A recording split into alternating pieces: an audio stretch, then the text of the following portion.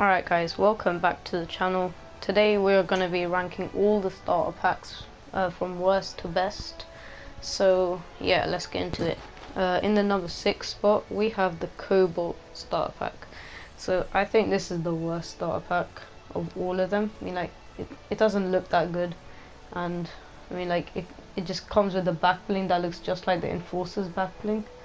I mean like I, I just I do not like this one. I haven't even used it. So yeah that's the number six spot. Alright guys, so in the number four spot we have the Summit Striker. So this one I it looks nice but it just it doesn't match a lot of back blings and this back bling doesn't go on a lot of skins. I don't use this one that much but still I, I don't really like this one so yeah I'm putting in my number five spot. Alright guys coming into the number four spot we have the Wingman Star Pack.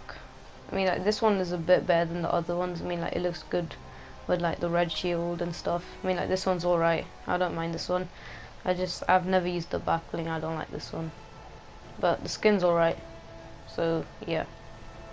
Okay, guys, so in the number three spot, we have the Ace Star Pack. This one was a really cool one. I really like this one. It was part of the getaway when it came. So, yeah, the back bling isn't that good as the skin, but still, this star pack was it's alright. I, I like this one. I used it mostly. Alright, guys, in number two spot we have the Rogue Agent. I got this back in season three when it was a star pack. I didn't get it when it came to the item shop. Like this one was one of the best ones. It looked so cool. I mean, like the back bling goes on nearly all the skins.